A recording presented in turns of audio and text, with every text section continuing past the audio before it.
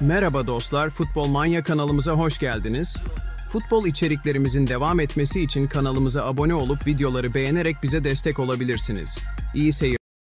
UEFA Konferans Ligi H grubunda Fenerbahçe Spartak Tırnava engelini 4-0'la geçti. Kanarya'ya hem galibiyeti hem de liderliği getiren golleri Ferdi Kadıoğlu, Dusan Tadic ve Edin Zeko kaydetti. Maçın ardından teknik direktör İsmail Kartal mutluydu. Oyunu domine ettiklerini dile getiren tecrübeli çalıştırıcı, bugünkü maçı kazandığımızda her türlü gruptan çıkacağımızı biliyorduk. Hep lider çıkmak istiyoruz dedik. Bugün ideal 11'e yakın 11 ile çıktık.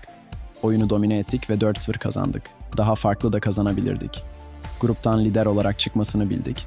Onun için mutluyuz. Taraftarımıza teşekkür ediyorum. Muhteşem bir destek verdiler bize. Gidebildiğimiz yere kadar gitmek diye bir sloganımız vardı. Şimdi son 16'ya kaldık. Burada final oynamak. Hatta kupayı bile kazanmak istiyoruz." dedi. Ferdi Kadıoğlu'nun yükselen performansına da değinen başarılı çalıştırıcı, Ferdi bu akşam da çok güzel bir performans ortaya koydu. Sürekli kendini geliştiriyor, gelişim içerisinde. Kendisinin bu gelişimi kendisine ve takıma faydalı oluyor. Onu da tebrik ediyorum yorumunu yaptı.